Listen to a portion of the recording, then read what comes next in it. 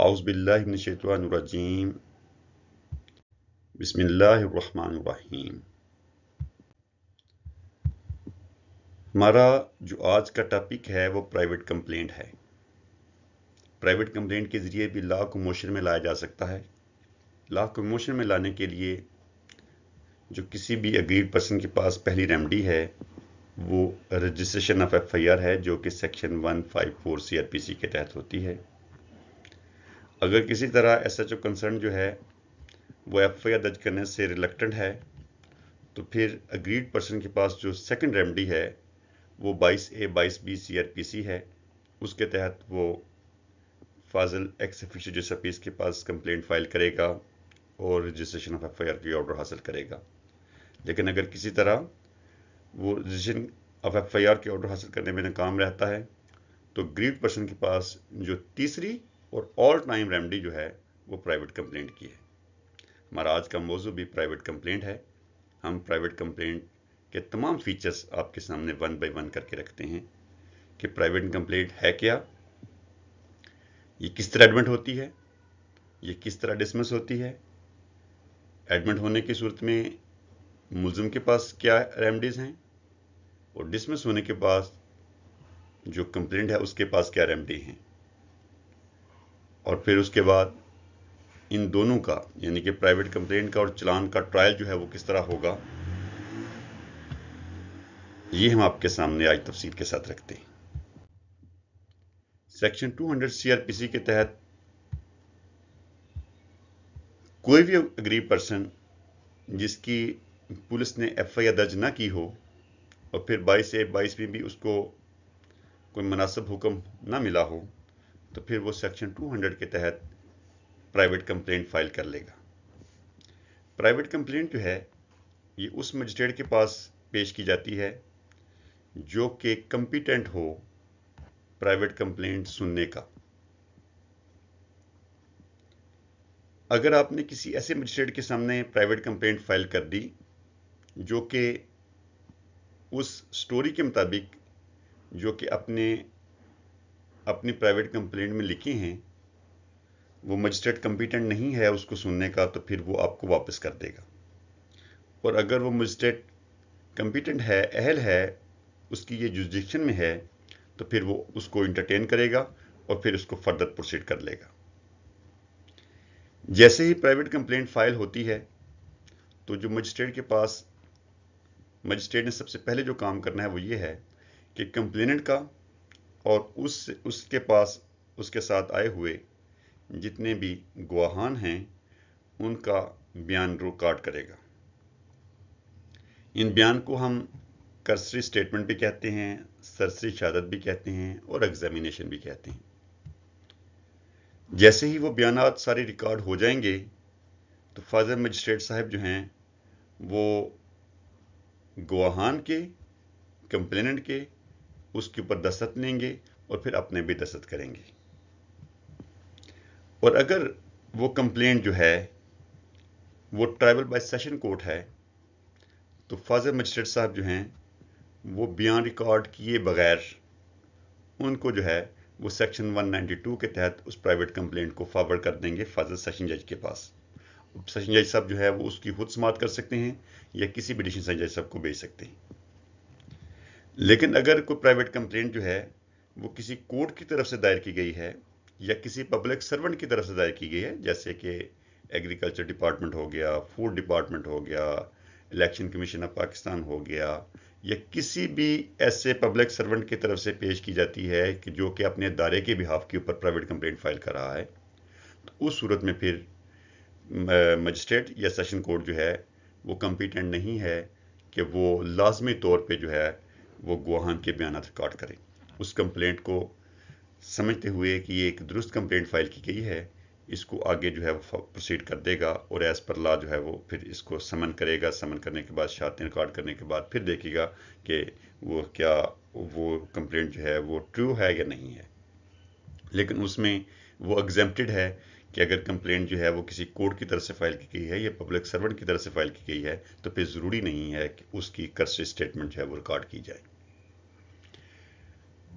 और अगर किसी मजिस्ट्रेट साहब ने कैसे स्टेटमेंट रिकॉर्ड कर ली है और वो केस जो है वो सेशन जज साहब को भेज दिया है तो फिर ज़रूरी नहीं है कि सेशन जज साहब जो है वो दोबारा से कर्से स्टेटमेंट रिकॉर्ड करें।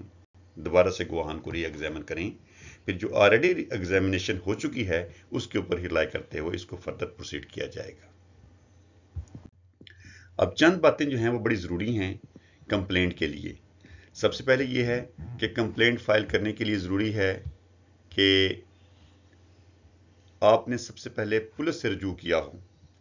अगर किसी अग्रीव पर्सन ने पुलिस से रजू ना किया हो तो फिर वो 2020 Y L R note two के तहत प्राइवेट कंप्लेंट करने का अहल नहीं है। प्राइवेट कंप्लेंट फ़ाइल करने से पहले ज़रूरी है कि वो जो कंसर्न पुलिस है, उससे रजू करे और पुलिस जो है वो किसी भी तरह, किसी भी वजह से उसको रिफ्यूज़ करे कि वो उसको फर्दर प्रोसीड नहीं करना चाहते, उसके ऊपर एफ़ दर्ज नहीं करना चाहते तो फिर उसके पास रेमडी है कि वो प्राइवेट कंप्लेंट की तरफ़ आए। अब सेकंड पॉइंट जो है वो बर्डन ऑफ़ प्रूफ का है। बर्डन ऑफ़ प्रूफ दो तरह के हैं यहाँ पे। एक बर्डन ऑफ़ प्रूफ उस वक्त आपके ऊपर लागू होगा जिस वक्त आपने कंप्लेंट को एडमिट करवाना होगा। और एक जब वो केस की शक्ल अख्तियार कर लेगी, ट्रायल की शक्ल अख्तियार कर लेगी तो फिर उसके बाद भी बर्डन ऑफ़ प्रूफ आपके ऊपर होगा कि आपने अपनी कंप्लेंट को साबित करना होगा। बर्डन ऑफ़ प्रूफ जो है, वो हमेशा कंप्लेंट के ऊपर होगा। कंप्लेनेंट ने ही ये साबित करना हुआ, होगा कि उसके साथ ये वकुआ सरजद हुआ है फलां फलां शख्स ने किया है फलां फलां वेपन्स के साथ किया है, इस तरह किया है, उसमें जो भी ज़रूरी रिक्वायरमेंट होंगी, वो बर्डन ऑफ़ प्रूफ सारे का सारा जो है, वो कंप्लेनेंट के ऊपर होगा कंप्लेनेंट ने साबित करना होगा कि ये जुर्म सरजद हुआ है, फलां बंदे ने किया है। जब इनिशियल स्टेज होगी तो उस वक्त सिर्फ़ कंप्लेनेंट ने यही साबित करना होगा कि प्रेमा फैशी ये केस मेड आउट होता है। इतना ही उसके ऊपर सिर्फ़ बर्डन प्रूफ होगा।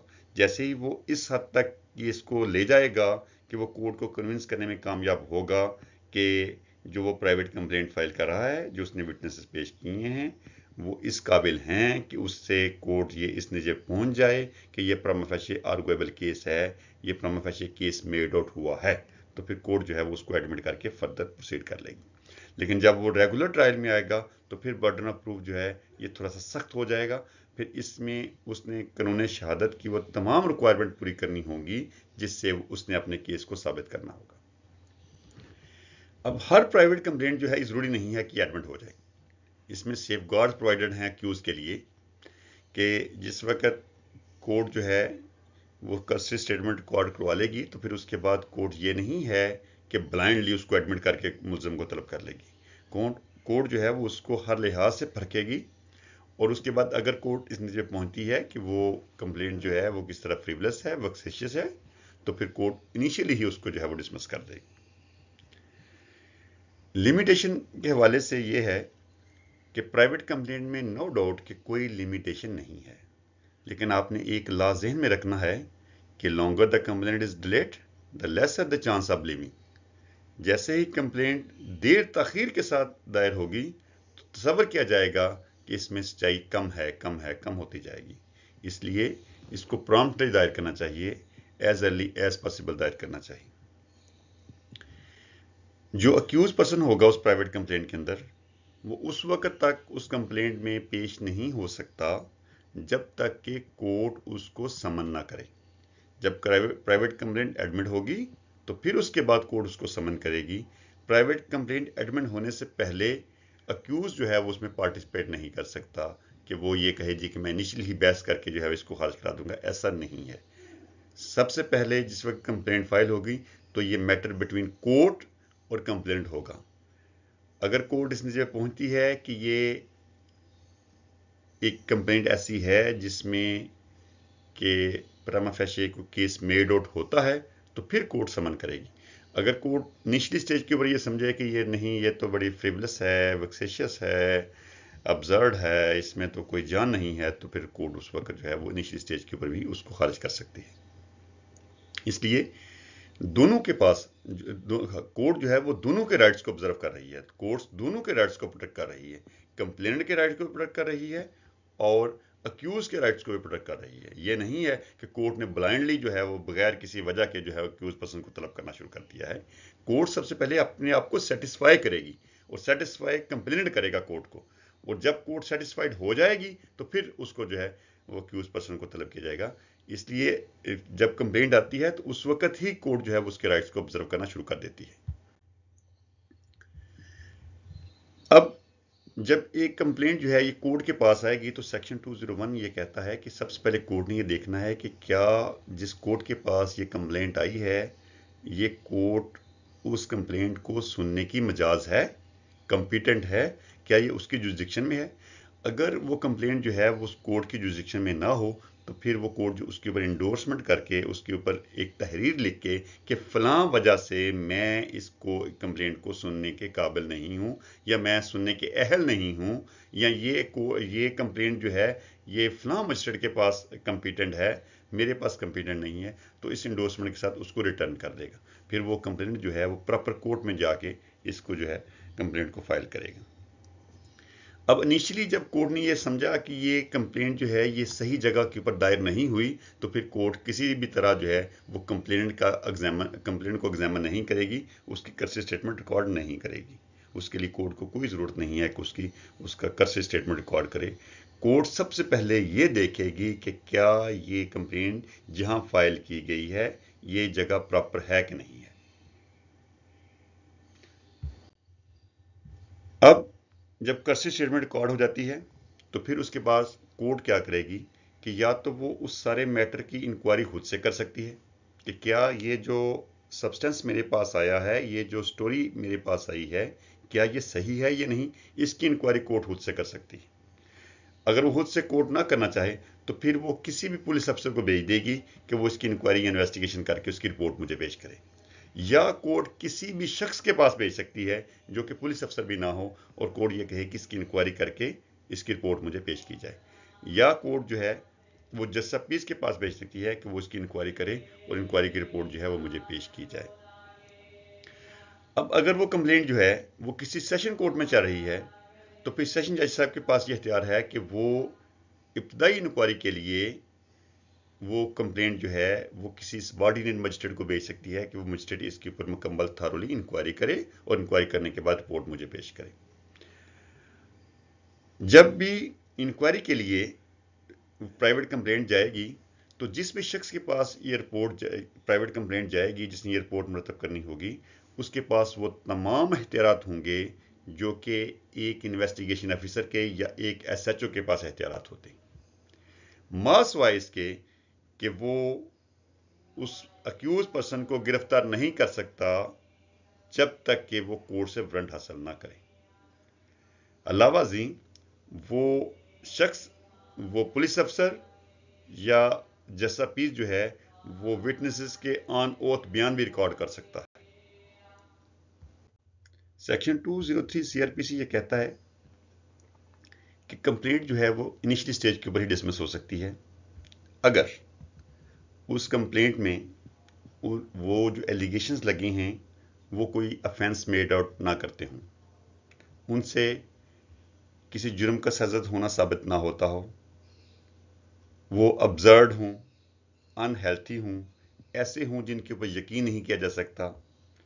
उनके ऊपर कोई लीगली बार हो, या वो बदनीति से दायर की गई हो, या वो किसी ऐसे शख्स के खिलाफ दायर की गई हो जो कि किसी अदालत के हुक्म के तायद में या अदालत के हुक्म को, हुक्म के तहत कोई काम सर अंजाम दे रहा हो, या उसके जो कंटेंट्स हैं, वो ऐसे हों कि जिसमें abuse of process of law हो तो उस सूरत में कोर्ट जो है, वो निचली स्टेज के ऊपर उसको डिसमिस कर देगी।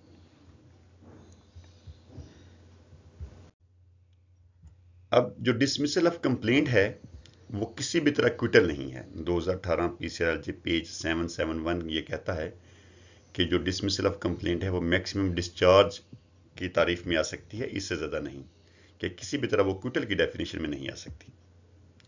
और अगर आपकी कंप्लेंट जो है, वो ड्यू टू नॉन प्रोसिक्यूशन या non submission of service charges जो है, वो डिसमिस हो गई है तो फिर सेकंड कंप्लेंट फ़ाइल करने में कोई बार नहीं है।